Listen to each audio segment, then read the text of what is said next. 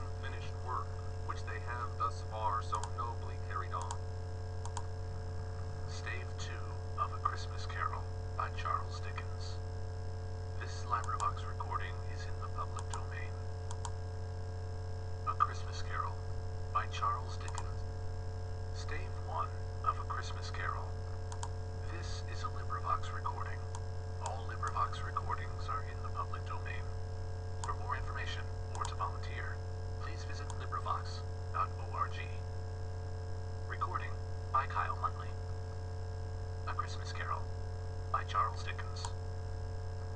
Preface It is rather for us to be here dedicated to the great task remaining before us. Here gave their lives that that nation might live. It is altogether fitting and proper that we should do this.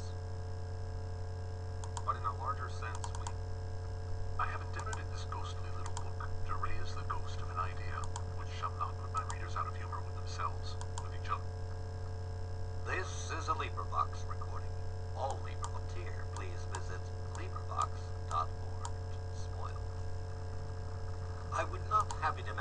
however, that he was one of those cruel potentates of the school who joy in the smart of their subjects.